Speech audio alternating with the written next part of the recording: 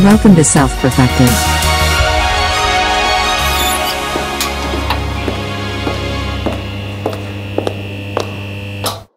is 150 why okay all right i'm here okay now why was 168 afraid of 167 I don't I don't know why. because or no why was yeah because 167 168 169 The fuck?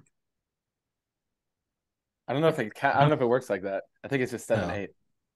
you ever heard that joke I heard that joke. No, Not that, that, other that, that- variant. not like that. That was like a No. that was a why was variant. six Yeah. afraid of seven because seven eight nine yeah, that one.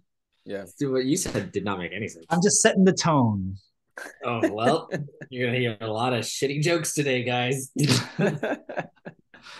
so what's up An attempt. Uh, going well, on? Not much. Christine, you're staying on, eh? Oh, look at that. Well, I just wanted to say one thing. Oh My mom called me yesterday and she Uh-huh. said she said, Christine, guess what we're selling at Costco? And I was like, what? She's like, gold bars. And I was like, really? And she's like, yeah. Like, and people were coming and asking, like, are you selling the gold bars? And she's like, I don't know what's happening, but this is weird. And I was- so anyway, You Costco give is a selling toast? Costco is selling gold bars. Hey, look at that, wow. Wow, Max. Oh, oh! what was that I it broke some glass. what was it We were carrying a glass. oh hey Cindy, move away from that look at this uh awesome french toast max made awesome Nice. that's great Yes. bud That Look is maximized. i'm gonna mute myself i'm gonna mute myself and help clean up that glass real quick and then we'll, i'll come back All right, Great. sounds good. Great. That So sounds wait, good. wait, Christine, you're saying at Costco they're selling gold bars. they're selling gold bars. So you know how we watch all those like videos about finance, you know, like some sort of like finance guru, and they're always like, "Hey, you should buy precious metals." Mhm. Well, guess what? You can buy your precious metals at Costco. So, so the significance of that is, Mitch. Hey, by the way, can you guys hear me, or am I is my mic low? A little low. What if I do this? We want to hear that full richness. How about now? How about now? Better? That's No. exactly the same. It sounds exactly the You same. know? The, you know what? I'll play around with it for a little bit. But anyway, the significance of it is this. You've heard of like all the um oh, how about now? Hmm? How about now? How about now? Yeah. Ooh, ooh. Yeah? Are, are we Yeah. hitting? Yeah, is that good? My eardrums. Mm, yeah. Reverberate take it those away, Drake. eardrums. I'm out. Okay. See ya. Bye, Christine. See She's, God, yeah. She's just in the other room. She's not that far. um, but uh no, no. okay you, you see all those videos of like people like going into panic or whatever like prepper you know videos or uh a, a really good example is tim pool he's always like buy your i don't know meal prep for the next 300 days because you never know when you know shit's gonna hit the fan or whatever right and it's like now you can see to what extent like the the mind consciousness is is going where it's like where, when Costco is selling gold bars, which apparently they weren't doing before, which I'm like, how big are these gold bars that they're selling at Costco? And, Yeah, and do you get a bulk discount on them? Do you get a bulk gotta be. discount? There's gotta be. It's Costco, right? How could like, they not have it? yeah, you gotta you gotta be saving some money. Like, but like Costco, the place where you go to buy like you know 300 pounds of cereal for for 10 bucks Whoa, or whatever. whoa, whoa, whoa! Hey, Do you not go to Costco? I've been to Costco. Oh, let me tell you the story. Let me tell you the story. I went to Costco once within the last month or two or whatever. Okay. Um, and, and You're- somewhat regular. no, no, no, no, no. Oh. I, I don't often go. Like the Okay. time that I went before that was like, uh, I don't know, a year ago or, or something like that, basically. Oh. And it was it was with Christine, so she was guiding me around. Um, but anyway, I don't have a Costco membership. Christine has a Costco membership. I think that's important to note because Is it transferable the, from 'cause Canadian what? Costco to this? Is it transferable from Canadian Costco to American? it is, Costco? it is, it is. seamless. Okay, good. But but here's the thing. So um ever since obviously we had the baby, Christine's not been able to go to Costco. So she like Instacarts it, you know? Oh, you can Instacart Costco. You can Instacart Costco. Now the only issue with Instacarting Costco is I hate going in Costco. Me too. Unless Me I'm in the right mind state where I'm like, I'm just gonna go appreciate the chaos. Otherwise, it is overwhelming. But Jessica is a Jessica's like Women like Costco. Yeah, yeah. But what I don't understand is how they know how to navigate Costco. There's like some kind of logic to it. Like I know where the fruit is. I know where the dog food is because you know we get our dog food from there. Because otherwise, you know, I don't know. I blowing don't know. money I- on Chinese I- people, you know, China owns Costco. Do they really? Yeah, Uh, I did not know that. in China See? they have dog food there too, but it's a little but it's different like kind of dog dog. Food. So okay, Like you I've- have dog I've- food? I, I've not liked these kind of stores, like because my grandmother used to take us to Sam's Club. We used to go there all the time because we had a, a business that required us to buy lots of food in bulk. Anyway, um, so Sam's Club or BJ, I, I've just had a disdain for them ever since I was a child. But anyway, so what we've been doing Sounds like you need to do some writing on that, buddy. um, Christine's been ordering the like the Costco through Instacart. The only problem is they charge more for every item, and they charge you delivery fee, and it's it's just like ah okay, what I might as well have just gone to public or whatever. You're not really getting savings. Um, anyway, so the other day she's like, hey, can you just go to Costco? Not the other day, it was like a month ago. I went there and um, got all the stuff that she put on the shopping list. I'm standing in line doing the self checkout. She's like, "You got to go to self checkout because the card's under my name or whatever." I'm like, "Yeah, okay, whatever, no problem." I'm in the self checkout, and literally a lady comes up to me. She's like, "Let me see your card," and I was like, "It's right here." She's like, "Let me see the the other side where it's got the image because it has an image on it, right?" So you know, I flash it to her real quick, and she like takes it and she's like studying it. She's like, "Who is Christine?" and I was like, "That's my wife." and she's like, "And uh, do you have your own card?" I'm like, "No, this is my wife. This is my wife's card. Like, uh, she's got a baby at home. We're not gonna come into Costco. Like, it doesn't make sense. I'm her husband. I'm gonna like." We do Instacart all the time. That doesn't seem to be a problem. what is I'm this? husband. Communist China? Yeah, right. And she's Yeah, like, okay, "Mm." one to ten, how combative is it getting at this point? uh it, it's getting like a solid six solid six I could tell. When she saw like the a five, picture and she was I like, "Who is this woman?" You should have been like, first of all, how dare you? that's me It's ma'am. and, and she's like well i don't know i don't we're not going to be able to allow you to buy this stuff and hey, like, you know what would have been funny? Next card." time you do this, uh-huh. wear a wig. Hey, Like put on some women's clothing and wear a wig. See, I'm trying to get the black guy to put a dress on. Wait, this is like a whole the yeah, Dave this Chappelle is, this is how we Yeah, get yeah, famous, yeah. guys. This is Yeah. how. Oh, I have How something about that Dave Chappelle. Remind me, remind me later. But like, anyway, she pulls me off to the side. So I've been standing in line. It's a long ass line too. She pulls me off to the side, and she's like, "I gotta talk to the to the manager." And like, she goes over, and I see her talking to some guy, and she's like, mm, uh, and they're like pointing at me and all this, and I was like. I'm hitting up Christine. I'm like, can you send me like a picture of you with the baby, or like, can you tell these people You got to do like- FaceTime her. yeah, yeah. I'm, I'm like, like, what? Like, can we do something about this? Like, they're seriously not gonna let me back. The lady comes back over and she's like, "Can't do it." I was like, "What the fuck? do You mean you can't do it?" She's like, "Can't do it." But you know, um, you know, since it's just food, you're not buying anything else. I'll let you do it this one time, but don't come back. Don't come back unless you're gonna buy your own card. Like, are you fucking serious? Like, But that's so- not really how it works, is it? Or do you have to have like don't a family thing or something? I don't know. Like, I, like supposedly I'm supposed to be on the card.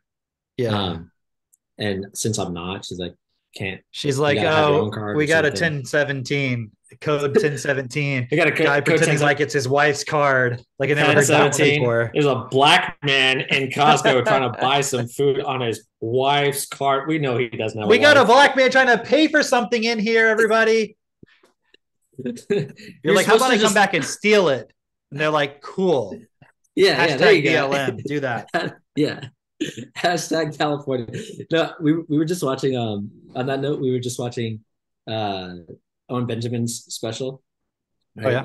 yeah, Is and uh, yeah, yeah, it was like within the last like month or so, and uh, he he has this line where he's like, you know, he's like, you know, it's not as bad as they're making it out to be. You know, like people want it to be really, really bad. It's not that bad. He's like, you know, like I had a truther friend. He was telling me about like AI and and robots taking over cashiers' jobs and everything. He's like, you know what though? In California, they brought the cashiers back. You want to know why? Because they didn't count on they didn't count on all the looters coming in. They didn't count on that. Right? So so they brought the cashiers back. And I told him, look, in California, they brought the cashiers back. He, he, he didn't want to hear it. He was like, no, no, no. he wants things to be bad. Yeah. So that's Funny. Yeah. But um I, what I was gonna say about Dave Chappelle is this, and then I'll, I'll let you guys have the thought. What I was gonna say is you know how Dave Chappelle talks about that story with Iceberg Slim, the pimp, right? And and like he's using that to describe the situation that he was in with Comedy Central, right? Or at least that's what he says. Is that and for those of you who don't know the story, it's basically um he tells this story of the pimp who uh has his main hoe I'm just going to use the correct vocabulary. I have a main hoe. I, I mean, I have also like uh, I have a side hoe also. It just depends like which garden I'm working in because we have the big one. I usually use them. broke my hoe. I bottom had a used hoe and I broke my. Hoe. You have a broken hoe? Yeah, Did you beat So- the hoe around and like just slam I it got around? it used, Oh, you got a used hoe. and I was I was digging, yeah. and it broke. Well, see that that's that's what this You got to get a new hoe, man. Got to get. I'm telling you. That's what this pimp was afraid Just of. need His- a new hoe. His main hoe was going to break on him. That's that's what he could see happening. He's like, "Yep, it's it's time that this hoe is it's going to be broken very soon." And so, Used in order much to get. Exactly. In order to get some more mileage out of his hoe, what he decided to do was uh, put together this this one last job that she needed to do. That's what he told her. He's like, "Hey, listen, I know you're leaving me soon. This, you know, we're coming to our end here, but I just need one last job from you." And what he did was he had her go meet with this guy at a motel room. She goes, and he's like, "But he's got a lot of money. This guy has a lot of money, and so what we're gonna do is we're just gonna steal from him. So you're just gonna put some of this stuff in his drink." he's going to just knock out. And then um, you just take his briefcase, should be filled with money, should be hidden somewhere in his room. And then we we hightail it out of here, right? And so she goes, she sleeps with this guy, she drops whatever drops in his drink, and he knocks out.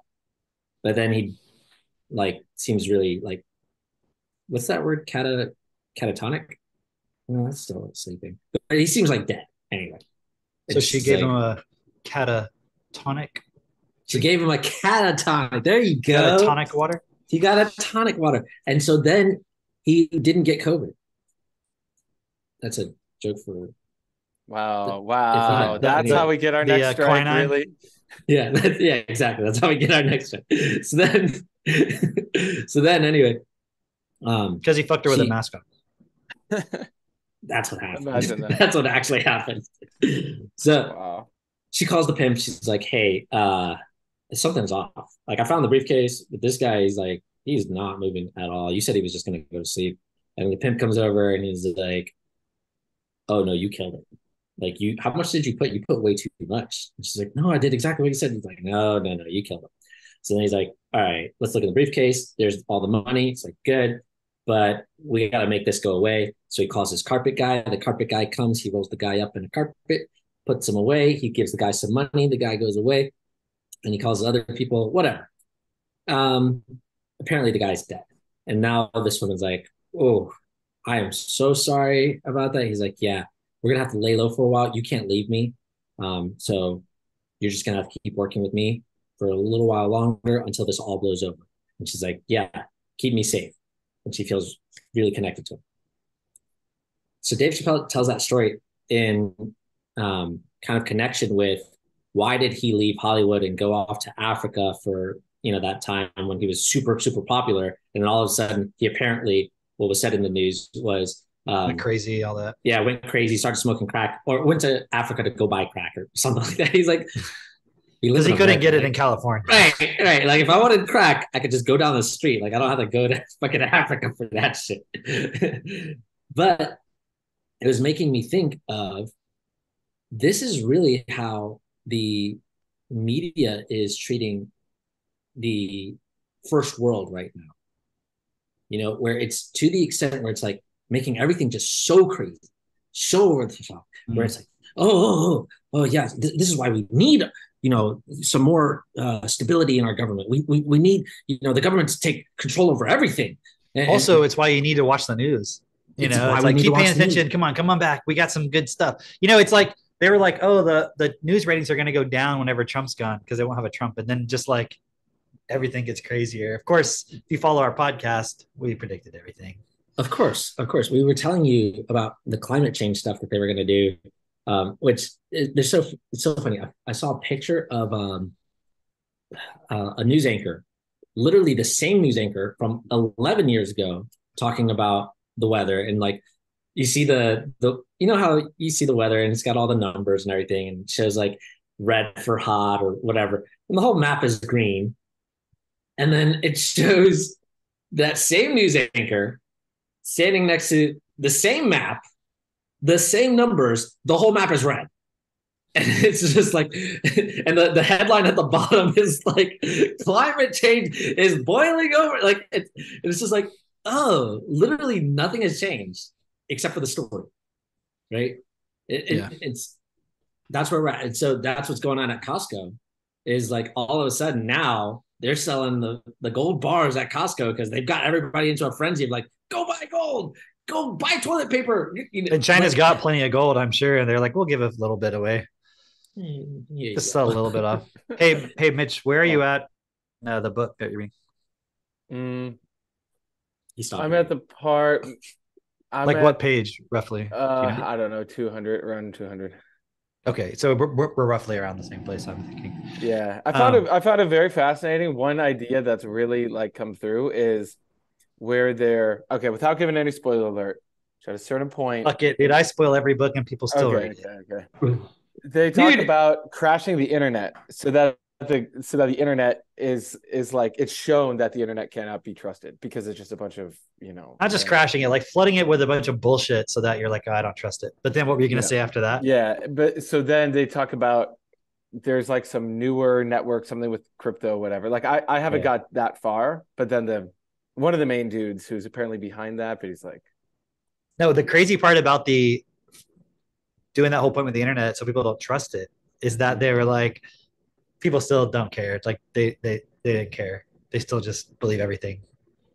yeah. yep. They- and I gotta Yeah, say, yeah. I, I'm willing to admit my mistakes. All right, it's pretty fucking good book. I'm like, this is a good book, man. This is really good. We're It talking is, about right? Fall or Dodge in Hell by Neal Stephenson. It is Yeah. pretty, and I'm like 220 pages in, and it's like Yeah. this. Is, and it's like I think it's like almost a thousand page book. It's, but I'm like, yeah, this is good. Nice, nice. I'm I glad you like enjoyed it. But you know what though? Like I was telling kids, I don't know how to explain this, but every Neal Stephenson book I read to me feels like a different author. Mm. Like not in a bad way, just like in a if I didn't like one of his books, or like, you know, it doesn't mean I can't read another one.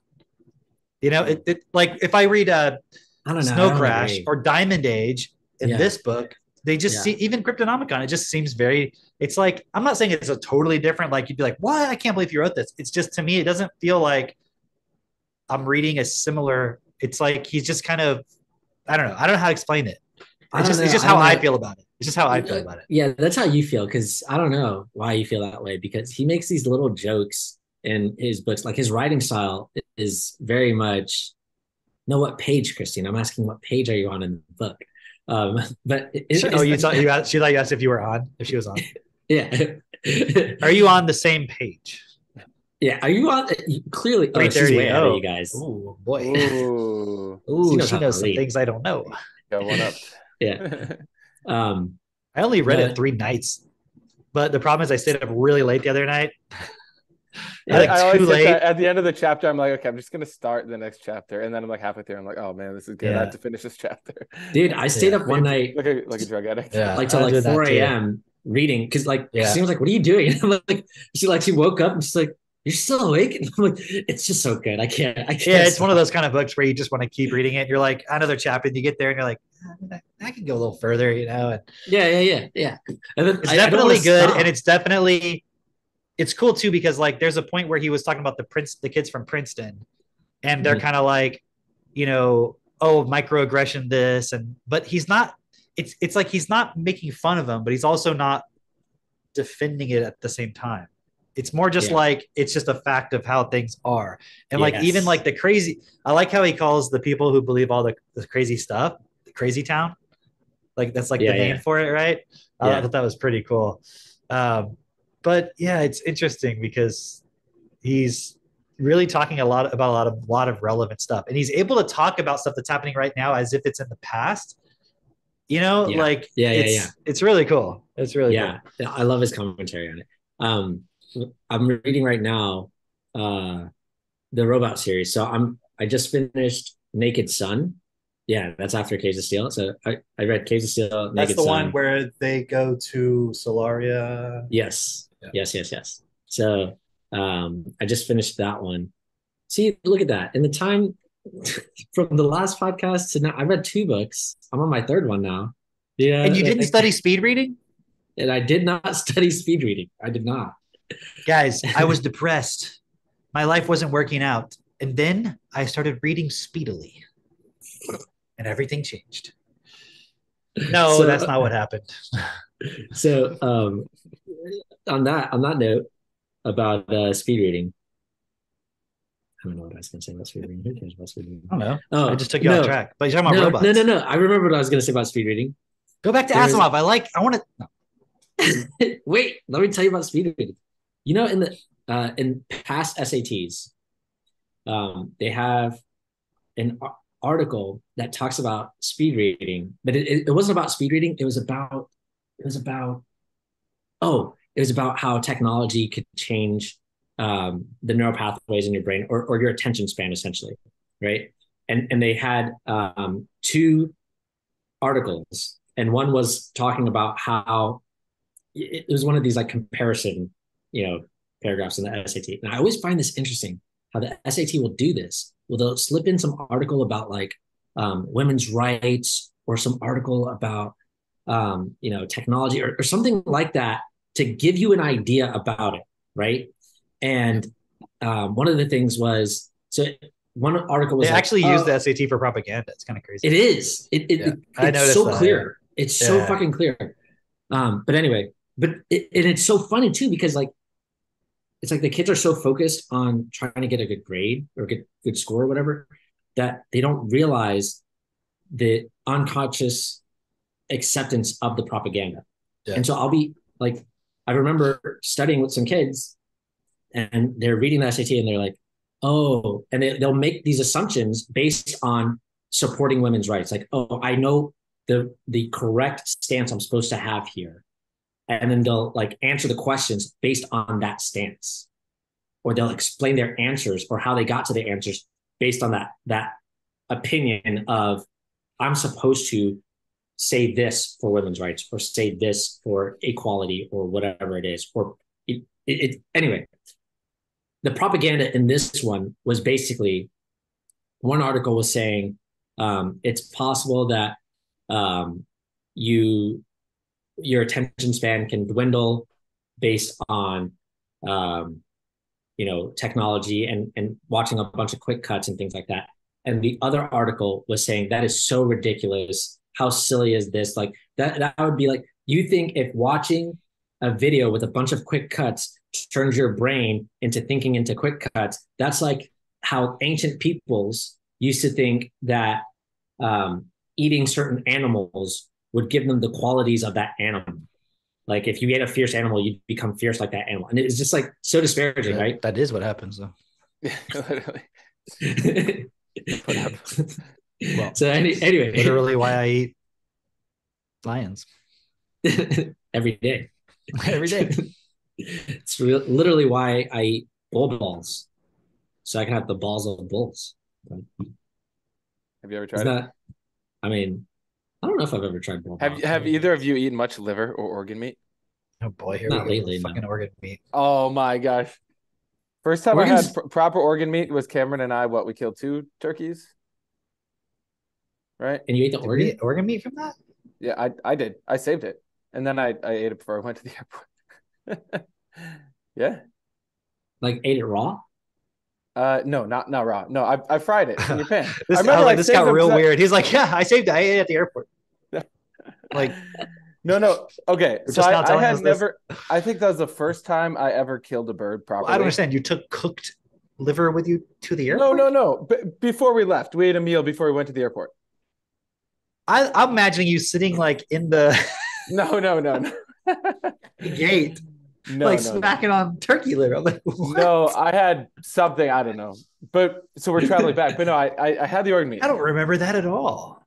Yeah. Well, remember killing the two birds? We killed. I do remember that. And then the, we killed two birds with one stone. Yeah, and I had kept hearing about liver king, liver meat. I was like, you know what? I've never actually had like quality organs like that. We we sometimes get liver from the neighbor who's got you know the cow. But we had we had we had uh, organ meat, goat organ meat at your place. yeah, yeah. I'm telling you, before that, you wasn't eat it? that, you eat that, you definitely feel different. Like, I don't remember that. well, The goat organ meat. y'all gotta try some liver.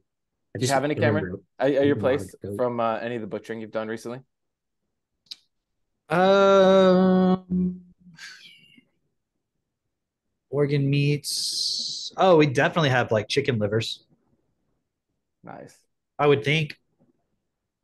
I'm sure I have a bag of like hearts and livers and stuff that we kept because Mm. I mean we killed 40 something 50 chickens. And That's good. we don't That's like good we didn't keep all that. Yeah. I feel like we have like a whole bag just full of like livers and hearts. I'm telling you, that stuff is a game changer. If you incorporate that in your diet, you just have to find a way because it does not taste good. The foodie and Drake would not like it. Maybe there's a way to prepare it, but I'm telling No, you, I I've looked into day. like Every I've looked I have it. into making liver taste good, and I don't know if there's. have you ever heard of that so- chess opening called the fried liver defense? Oh yeah, actually, Or maybe it's attack. I'm not sure.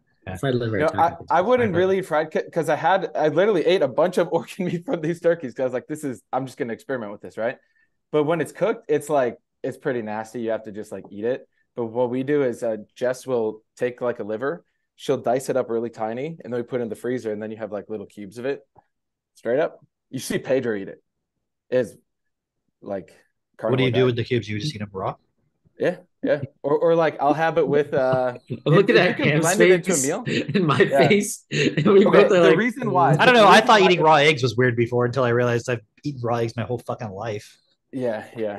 You know, raw milk, which we got to get to that because that that'll be an upgrade. We'll have raw milk in our diet, but we got the raw That'll good. liver. I'm telling you, you have it's because it's so nutrient dense. That's why. And right now, most people are nutrient deprived, so you're not getting like magnesium, iron, copper, all the stuff. So it's in there.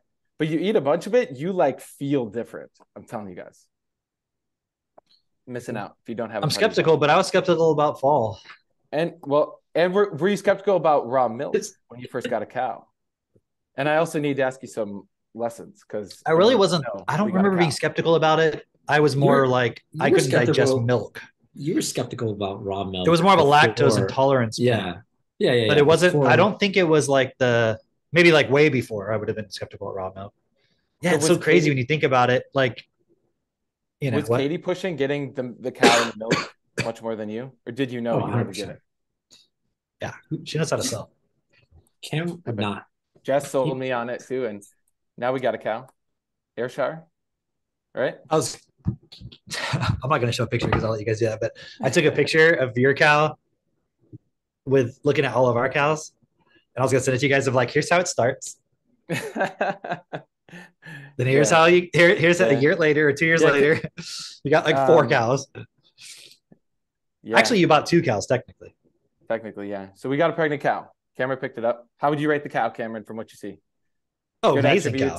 Yeah. Great. Okay, Awesome. beautiful, big. I figured because yeah, Katie helped us, and we she knows this cow broker, and so her and Jess have been chatting really for the past like year about this. I mean, when did you get your cows, Cam? Do you remember the first one you mm-hmm. got when you Katie became might. cow owner? If I don't know if Katie's listening, she would know. I would guess mm-hmm. a year and a half ago. I mean, ma- the baby Maple, she's not a baby anymore. She's like a year old, I think. So probably, I would guess a year and a half at the most. I'm thinking, but I, but I could be wrong. was it honey? Was it honey? Your first cow? Yeah, mm. we got her. She was pregnant. She's a heifer. Or, heifer. She's a Jersey cow.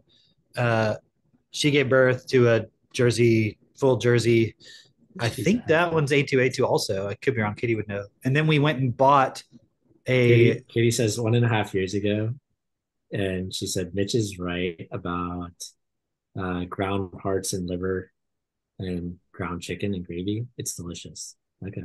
All right. Okay, the best way to do it would be have a meat processor. We don't have one yet. You know, just something that can mix it, and then you'd have like Like burgers. grinder? I guess, yeah, meat meat grinder. I think I don't know. put in some sausage or difference for it. something. Yeah, or you just put it in burgers, but it's like ten percent organ meat. The rest is burger, so you don't taste it, but like, you definitely feel it. I have a corn it. grinder. Corn grinder? For for what feed? Or what? I think I bought it for um clay or something. I don't remember why I got it. okay. Uh, okay. so Oh, it makes oh. like cornmeal? Yeah, but I I feel like I got it because we were doing like making our own clay and stuff. But I don't remember. Okay. Interesting. It, wa- it was funny. So I haven't ye- used it. yes, Just sitting yesterday we had uh, one of our meetups, and um, Pe- Pedro runs it. It's more like a, a public meetup, and he opened it with just, "Hey, what's everyone's wins recently?" And for me, I was like, "Wow, you know, you got into the homesteading one." I had two wins. One was uh, uh, we got our cows secured, and the other was we got our chicken coop insulated. So now I don't have to think about it at all because like where we live, it gets fucking cold. so you need. Oh, you insulated. insulated it. What did you? How did you insulate it? Well, I insulated it last year. It was when I was going to Texas. It finally was like, ooh, in the next week, it's gonna get really fucking cold here. And Jess had just had Aristotle. So I had to wake up at like 3 a.m. before I went to the airport. Insulate this chicken coop with like uh, it's like that foam insulation and then blankets over it. But now we insulated this Hi. one with proper Hi guys. Hey Max. Yeah. With proper Max like fiberglass everything. It looks amazing. Except it looks kind of like we Hold use like this plywood over it. I don't even know what it is, some sort of plastic plywood type thing. So but Okay. those chicken, it's like chicken paradise out there. What's up, Max? Maximus? How you doing? Chicken paradise. Yeah, yeah. Me and Jessica had to insulate our chicken coop because it gets very cold. And when there's cold wind coming through the chicken coop, it can It That's isn't okay. very cold actually here. yeah. How cold is it there? Mm, right now it's not bad. Today is like oh, today's 45. Apple That's list. pretty nice. It's been it's been about 25 the No. past few nights. So it's been freezing. Not bad. What I know right now, this is a podcast. We are on Yes. the podcast. Yeah, so we- we're recording. That's what I wanted. Yes. Yes. Yep. We're So- recording and we're we're live on Facebook and we're recording to repurpose it later onto the Apple Mhm. podcast. We'll upload it later. The recording. I want to show you one of the fastest checkmates in chess using the Stockfish engine so that maybe some of the people who are watching this might understand. Okay. Yeah. Just That's like- an option. Yeah. Well, let's Also, have a Max- timer. Max- How long do you think you need for that? Uh, Like five minutes? As long as I could stay in here after that. Yeah, Yeah. I, I'm just thinking we don't want to just only talk about chess all the time again. Fine. Yep. Max, what I would like to hear is are you reading any good books lately? And do you want to tell us? about? Oh, you're asking me that? Talk about that first. I've been reading King Arthur. It's the Oh. best. Let me turn off this air filter. King Arthur? Which which Is version? Because there's different different books with King Arthur as the character. Which one are you reading? It's like the original King Arthur book, like you know, like when with like the late, like Nimue, Lady of the Lake in it, mm-hmm. Galahad. All Do you know who the author is? No. Sure, we, we could look it up. but- It's like the original. Yeah. Because I was looking for the original, and there's like two or three that are debated as like the main one. Oh yeah, I don't know how original from that perspective, but it's Yeah. like classic stuff. It's not like some other version. Yeah, that's cool. This guy like Lancelot.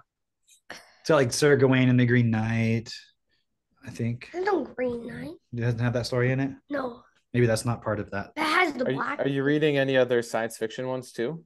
I'm I started I, Robot. I'm reading it to Aristotle. I'm not reading any science fiction right now. Mm. So now can I show you the quickest meet? I'm trying to figure out. show us. Mitch, uh, I, I was thinking maybe I should log into chess.com, Mitch. No, we'll just do stockfish. No, no, I was just suggesting. I don't want to do that. we, we'll we'll strategize on chess, Max. But I want to. You can have him do the move. There's Yeah, something I'll- I'm busy with, which is doing this. You see, I'm going to explain. So, I can see you also the quickest mate in chess I think is this. So Max, is that always the best opening? Would you say in general, the first one you did? Because pe- people watching this don't even really know openings. That is the fastest mate ever. Oh, I didn't even know about that one. Wait, wait, how many? How fast? Let's see how many moves. Three moves. fast. Watch out. Uh? Three moves. I thought. I, I thought. I thought it was two. Well, your opponent gets two moves. So but this you as white have three moves. you did three. That that's called the fool's mate. Oh, I didn't even know about that one. Okay, you want to show us the scholars mate? Sure.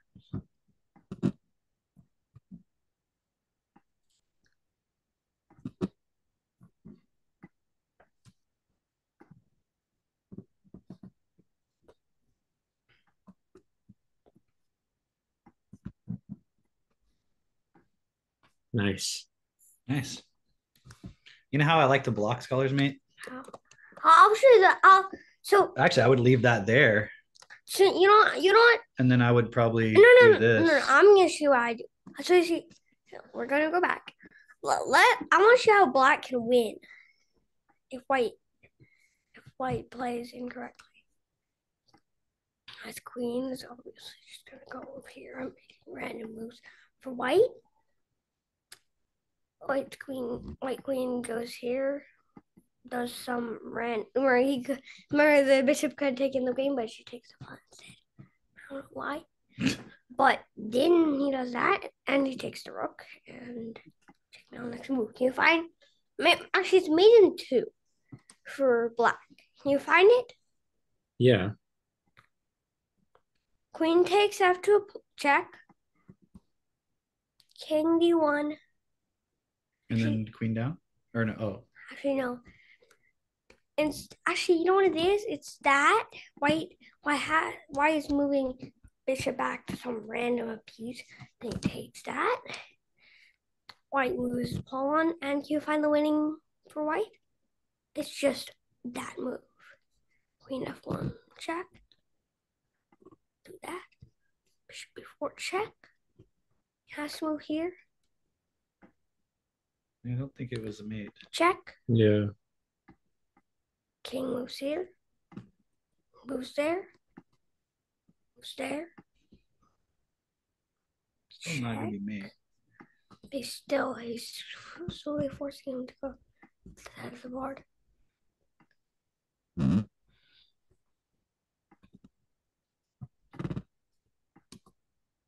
okay, now you're just playing. it's a very creative mate. I can't take there. Uh, That's like if the white person's playing all the worst possible moves. yeah. Only the worst possible moves. That, that can't be.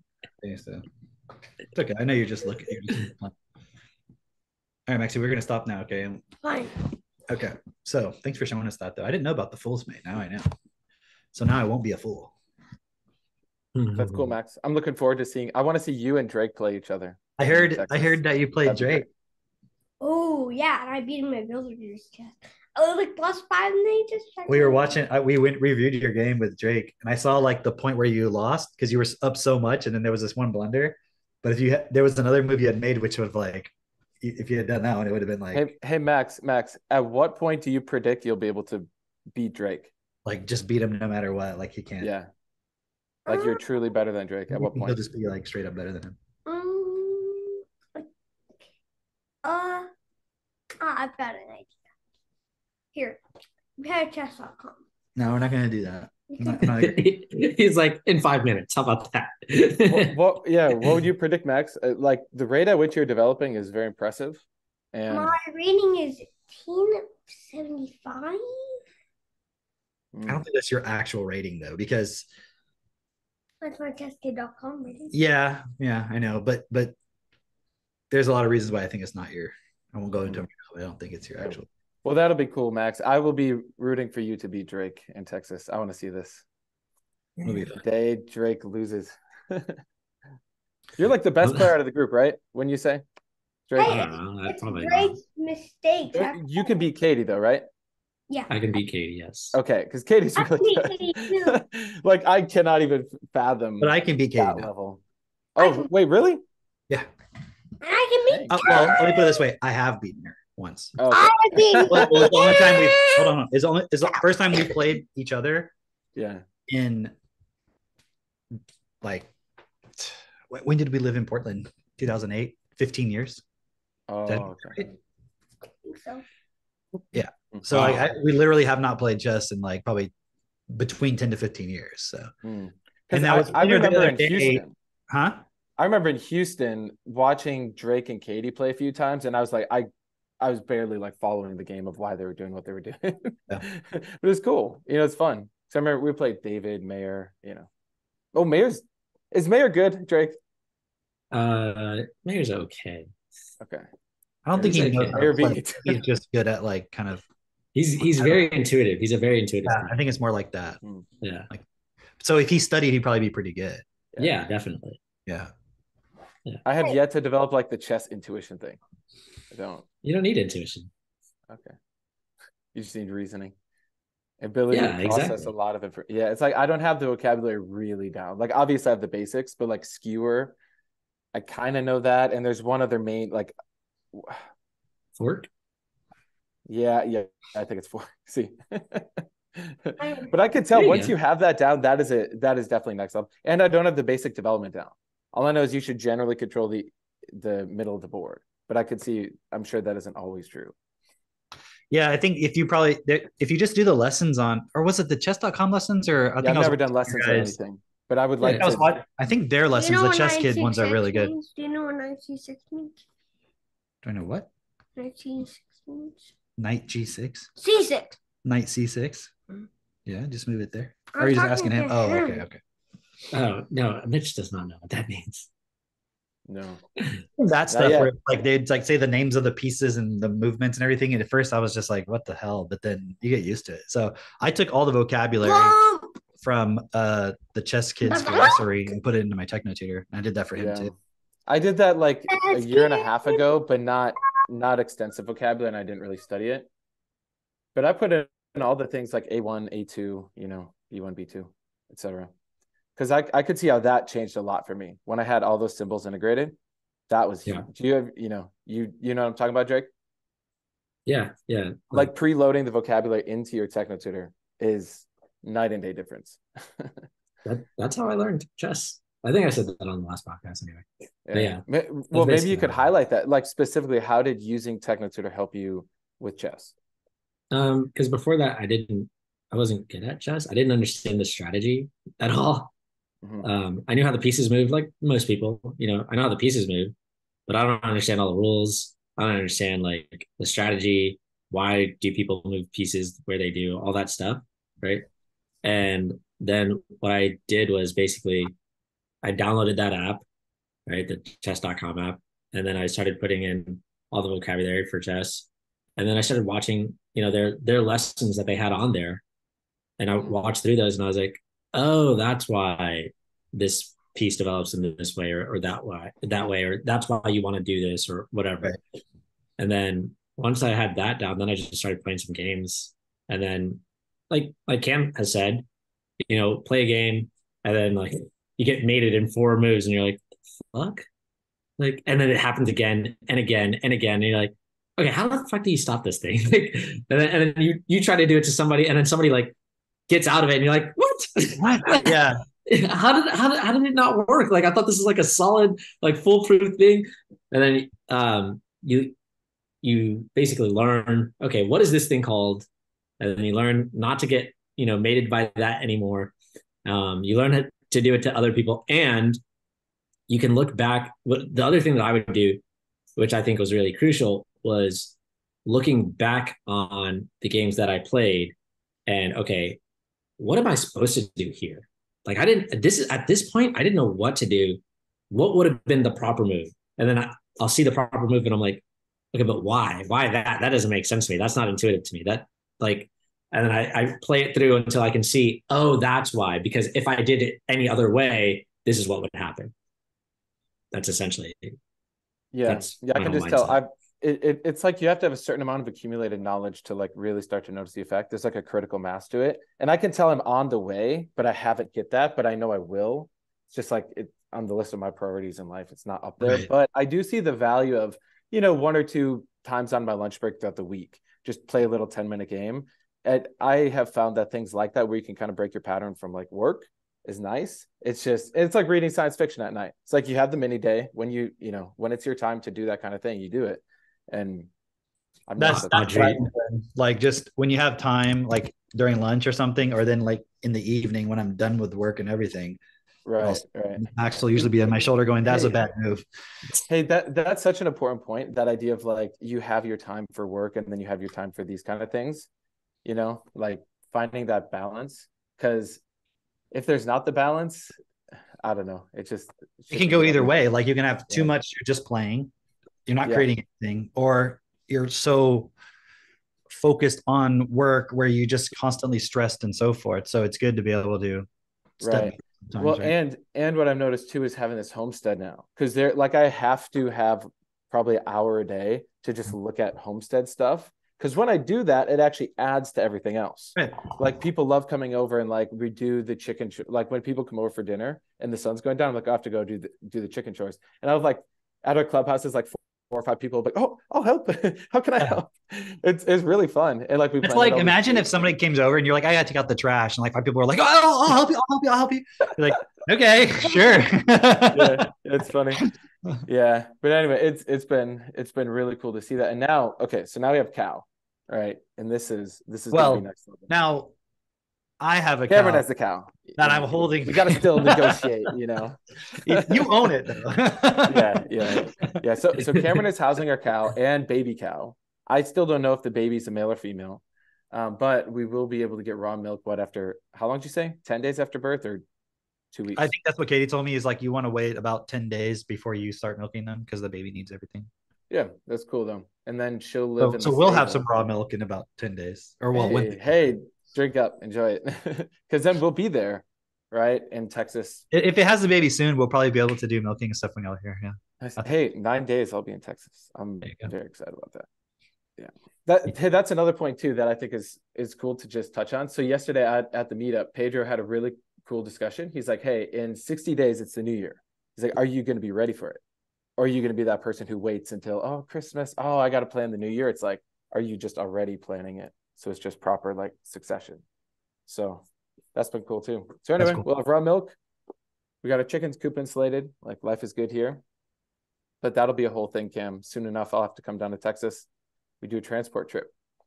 Oh, yeah. yeah, yeah. Cow up here. Operation Move the Cow. It'll be cool. Yeah, yeah. It'll Two be cows, actually, probably. I mean, definitely two cows at that point. Hey, hey, the other day, our neighbor, so our neighbor had like, he's got, I don't know, 30 some, 40 some cows. And he, he has a really cool operation. He's a couple houses away. And every once in a while, so we'll like kind of barter with him or like we buy stuff from I got my beef liver from him. Great beef liver. This this episode brought to you by liver.com. This episode brought to Okay, you by okay. Costco. Get your beef liver here. Get your beef liver and your get gold Costco. bars. Do not get beef liver from Costco. but anyway, our neighbor has six cattle in our back pasture. He, you know, is just eating it down and just fertilizing it, whatever. And uh, because we told him like, hey, we got the cow secured, so he he moved them out the other day. He got five of them in the trailer, no problem. But one did not want to go in. One literally busts through the electric fence in the back, runs like half a mile down the road. Hey, Just just to Hilarious. She's like, I, I I remember why farmers are in such shape, good shape now. Because at one point, her and Jess were like sprinting. do you do you care if I play a video of your cow on here? oh, go, go for Okay. it. Let, Okay. us show the people. The cow does Um, not have a name yet, so if you want to give a name recommendation, you can leave a comment. It's transferring to my phone. It's a funny video. That's why I wanted to show it to you because Cool. you're. I, I haven't seen cow in the much. Yeah, I haven't seen much for video, but I've seen two pictures and she looks she looks great. Exactly what we're looking for. Um, Ayrshire cow, not Jersey cow. Ayrshire. Ayrshire? Ayrshire. I don't know, actually. I don't know how it's spelled. I I flipped don't it. Sounds like something from It's a really pretty cow. okay. Um, Let's see this cow. Let's see this chocolate milk cow. Yeah. You get soon enough, milk on soon it, enough, right? Drake and Christine will be homesteading too. I know that's in their plan. So, are you going to get a cow too, Drake? Uh, I think we might get a think it'd be cow. practical with We the- got cows, with that dude. I get you a good deal on a cow, man. You a good deal on a cow. You want you want cow? How many cow you want? You want? I give you all the cow. You, This is like the cow. weirdest. This is like the weirdest, most wholesome cult ever. Yeah, yeah, You know, or like yeah. Hey, bro, Like, I can get you a actually- cow. like, actually care about. you could milk it yourself. Hey, do you want to play chess later? you want to play chess later and read some sci-fi and milk our Yeah, what book are you reading? yeah. No, no, it must be some secret cult. Come on, guys. It's like we're open about everything, or like here's all the stuff. Dude, Uh, I was It- it- reading. it's so. Oh, go I ahead, was reading yesterday about um about you know just like some secret societies. Oh, oh, partly because well, well, we'll see later. But also, I, I've been uh if you haven't listened to that What John Taylor Gatto, that John Taylor Gatto interview, Oh, five hour. All five I- hours. I'm I'm re-listening to it now. On repeat. That's one of those ones that are re, re- that are worth re-listening. Oh, to. I oh, no, it's- I it's listen to the whole it. thing about once or twice a day. There you go. There you go. just constantly on in the background. yeah, I take breaks. I take breaks to play chess. it's it's a phenomenal interview. Um, but anyway, he talks about in there how um, there are these groups, and it- it's so interesting because he even talks about like the religious schools that you know of, or like the the some of the most well, no, all of the elite schools. He says are religious schools. He says they're not religious in the sense that like they actually have faith in whatever it is that they're supposed to be believing in. It's like it's uh the way he describes it is they're doing some mental exercise of like what the heck was in god's mind when he created this uh like but he's like it's more of like a like a philosophical like like, they're, they're like really trying to dissect what's going on here right anyway he makes that point and he, he says you know one of the smallest religions was able to put um two presidents in the White House, right? And he's talking about the Quakers, right? And he's talking about how, like, you know, you would, you're, if you look at the Quakers, what is your impression of them? Oh, you know, they're like the fucking guy on the oatmeal, you know, like, like they're, they're supposed to like be these really pious, um, non-violent, uh, just like they have no ambitions or anything like that. They're just like, you know, here to go along with life, right? and yet it's like you look at benjamin franklin like he was not not ambitious he was very ambitious oh, I was trying to remember who the fuck was I just hearing about was a Quaker. Uh, Elon Musk. is a quaker Yeah, I, I'm like 99% sure. I was Okay, we need Wait, no, no, no, no, fact check fact check fact check Not Elon fact check. Musk. Wait, hold on, hold on. I got confused about South Africans. Dave, Dave Matthews. Oh, Dave, Dave Matthews. Matthews. I, I was listening to like you know how like it auto plays and it started I guess because I was listening to Dave Matthews it started auto, Hey. auto playing a uh, documentary and they were talking about when he's grown up in South Africa and his like in a Quaker thing? Yeah. And then I i didn't know he, he grew up in south Musk. africa. Huh? That is very different than um than you know. Elon Musk? Yeah very different. Dave matthews. Here, um I can play that video for we get yeah go ahead. Go ahead play the video. That's This is what just me picking it up. for Quaker. they're Like- friends. They're friends. Doctrine of the Inner Light.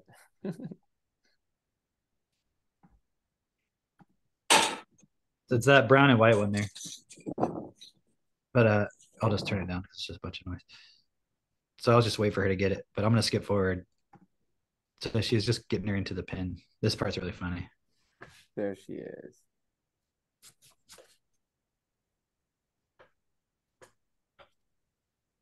watch.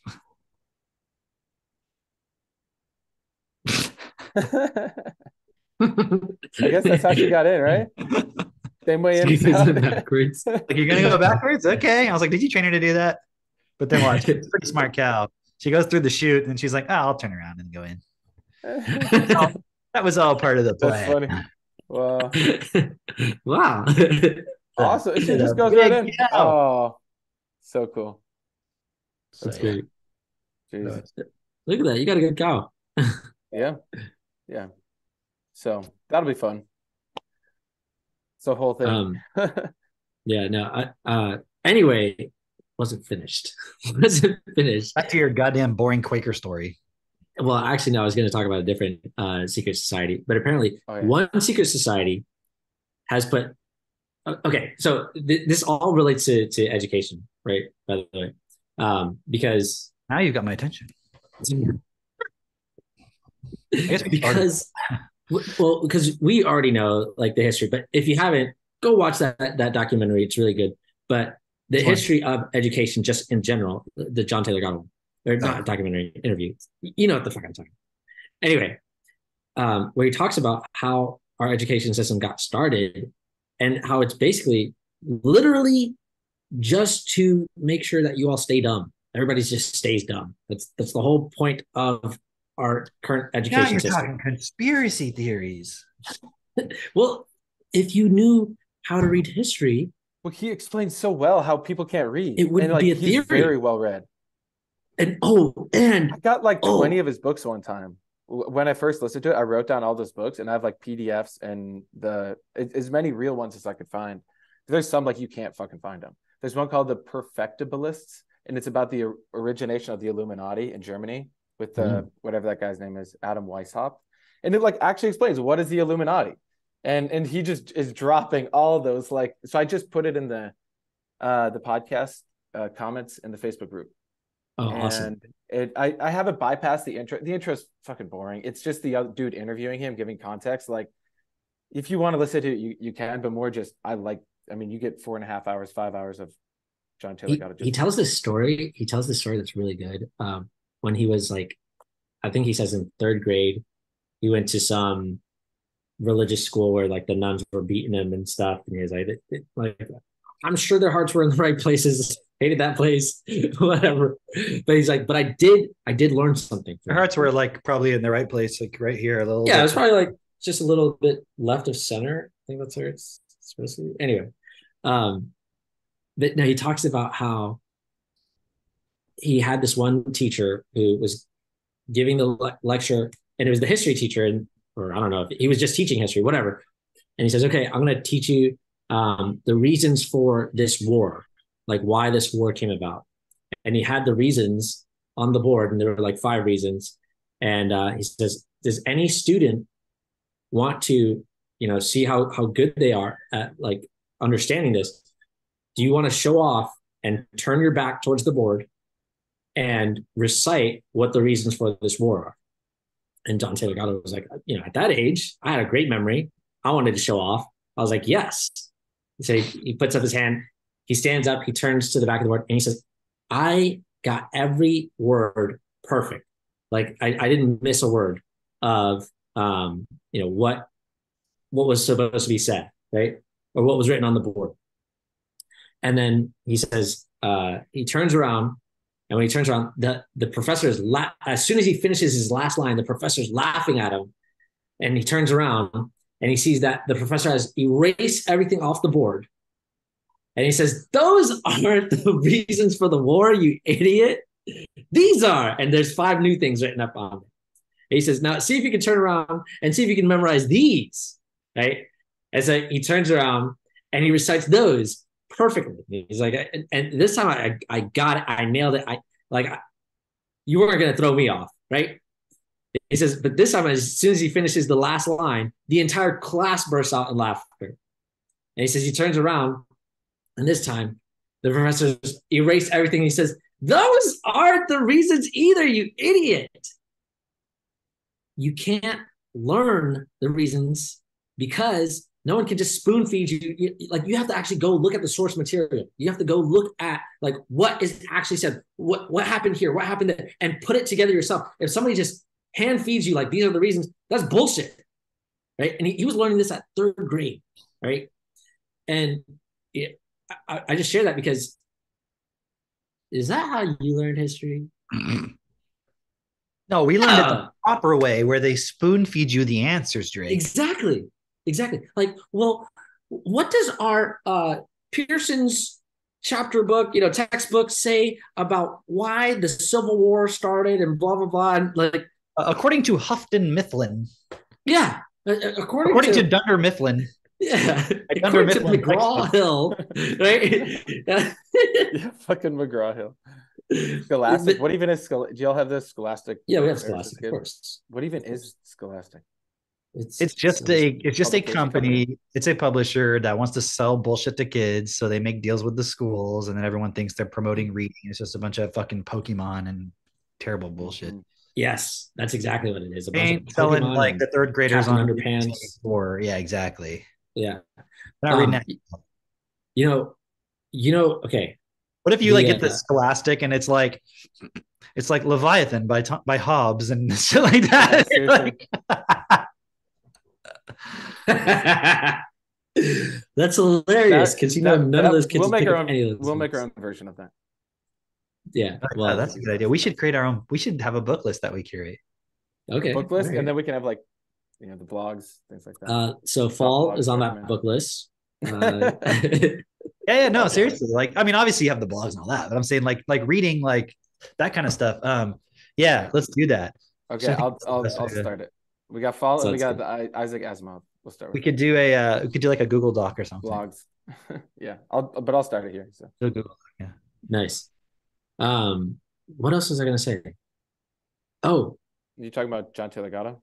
Yeah, yeah, yeah, yeah, yeah, yeah. Because he was talking about like um basically how the history that we learn is complete BS. Like we're told that the reason for the Civil War is X, and then everyone's supposed to believe that. But if you actually go and look into the history of it, not what your textbook said or what your history teacher told you or any of that bullshit or the propaganda that they put on the SAT, it if you actually go look at the real history, you're like, what? everything that I was told makes no fucking sense. No fucking sense at all. It's like it's it's got to be a lie because it's so fucking against counter to the facts of life at that time. So it made me look into some uh, other secret societies because basically those secret societies had a huge hand in creating the education system that we have today, but also because of that, they don't send their kids to the same institutions or the same schools that they're sending everybody else to because they're like, well, no, that, that's for you guys. That's we made that for you, the dumb ones. We don't do that. We do something completely different, right? And one of these societies has put three presidents in the White House, countless congressmen, like literally like you'd be astounded by the amount of congressmen that are uh, members of the secret society before they became congressmen. Uh, started FedEx, started American football. Like Started, literally, um, this is all one. Blackstone as well. Started Blackstone as well. Schwarzman was in there. Yeah. Exactly. Exactly. Blackstone. You guys have heard of Blackstone, right? You guys have heard of They're like the precursor. oh that one BlackRock. company that literally owns Yeah, they, or- they make that they make my griddle. people What? know BlackRock. I think less people know Blackstone okay yeah based on yeah, what yeah, the yeah. what the media is putting out. BlackRock came from Yeah. Blackstone. It was Where do going you to think be. rocks come from? it was going to be Pebble. It was going to be Pebble. Yeah. but literally, like, okay, um, that that should tell you something. That should tell you something really important. And and the the point that I'm making here is that you can't do it on your own. Like, like, what does the average person do? The average person is not a part of any sort of like group or secret society because they don't want to be part of a hive mind. They don't want to be part like they're afraid of what other people are going to think of them, all that stuff, right? And they're just wandering on their own, not even realizing they've been indoctrinated by some other group Right. and taught to to think in that way. And and oh, what are you taught in school? Oh, you don't collaborate. You're not allowed to collaborate. That is cheating if you collaborate. Okay. Okay. So don't even think about it because in the real world, that's not allowed. Not allowed. And so you're you're like, oh, okay, yeah, I'm I'm an individual. You have this idea of yourself as an individual. Okay. Reading um uh Naked Sun, right? I was I was sharing this point because it's it's such a good point. We talk about it often, but it's that point of like, you know, the law of attraction. Like, you only do things that make you feel good. right? But in in this book, The Naked Sun, it's set in the future, whatever, and the people are on a planet where they've been conditioned so that they don't even want to like be in the same room or the same vicinity as someone else. Like You only do entire- everything through like three dimensional video conferencing. You're never right exactly even even present. walking outside is done through a three-dimensional video conference and so it's like uh, so the moment somebody comes like says hey i'm going to be in your physical presence they're like "Oh, what oh no no no i can't no please right and it's it's so interesting because it's like it's really clear to see that that's silly right or or another character is like uh, i can't go outside cannot go outside because I've been conditioned where I have to have these walls around me at all times. Like the sun. That's like, Elijah Baley, right? Baley, right? Right. Yeah, Right. he's like weird. He feels weirded out by like open sky. Right. It's like, whoa, whoa, whoa. Blue You have sky. to read no. Caves of Steel to understand that. Right, right, right. And so it's interesting because if you consider that, like, look at that as like, that's really obviously silly. Clearly, you know, that's not natural. like People major anxiety if it's like he's outside. He's like, "Fuck." Right. But but the people have been conditioned in that way, right? And it's like the whole society's been conditioned in that way, where they're telling him, like, he's like, Oh, you guys don't like see people in, in person. They're like, that is so gross. That is so weird. The, the entire society is like, we would never would stoop so low, right? But that's literally what's happened to all of us. If you if you've been in a school, that is what has happened to you. You've been conditioned in a way where you feel unconsciously an aversion towards anything that is like going to support your freedom, All right. right?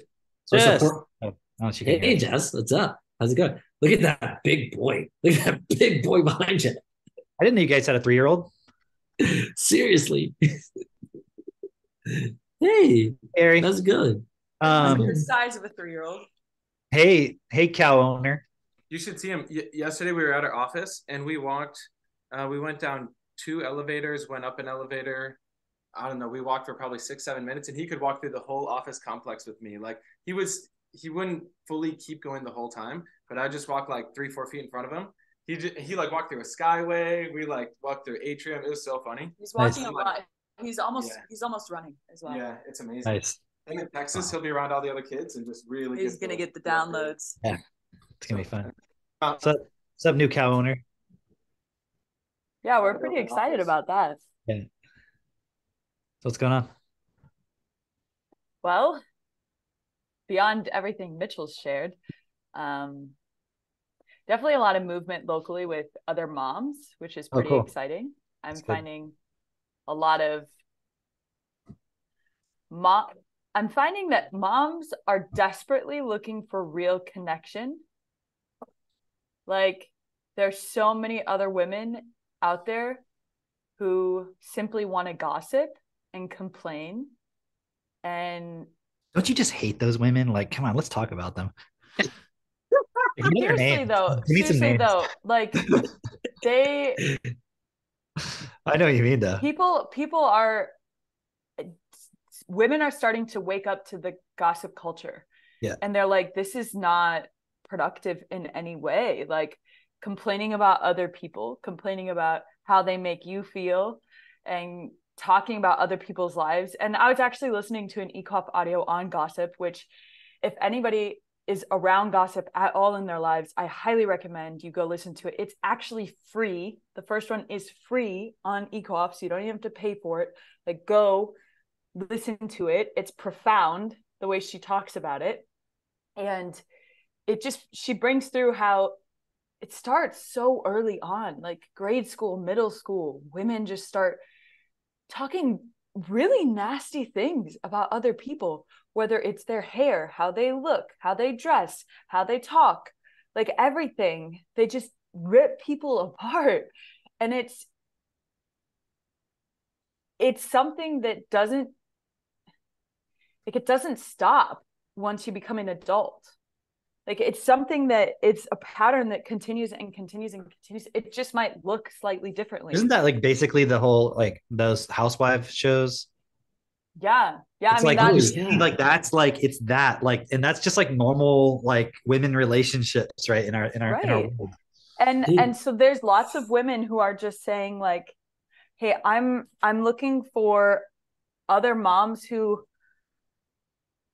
want to actually support each other to do something with their lives Yeah. not just talk about other moms you know and they phrase it differently but like you can tell it's like they're sick of it. So that's that's been really cool observation that i've seen in the last couple weeks. But they're cool. sick of it until they don't have it anymore. And then their pattern takes over and then they're like hey hey do you want to just Well, gossip? Like hey, that's- jess that's cool this is really thing is, cool like- all the things that you're sharing with me like you know about the cows and everything and I, you know like changing your education that's really great. I love it but like can we just talk about that bitch down the street jesse Yeah.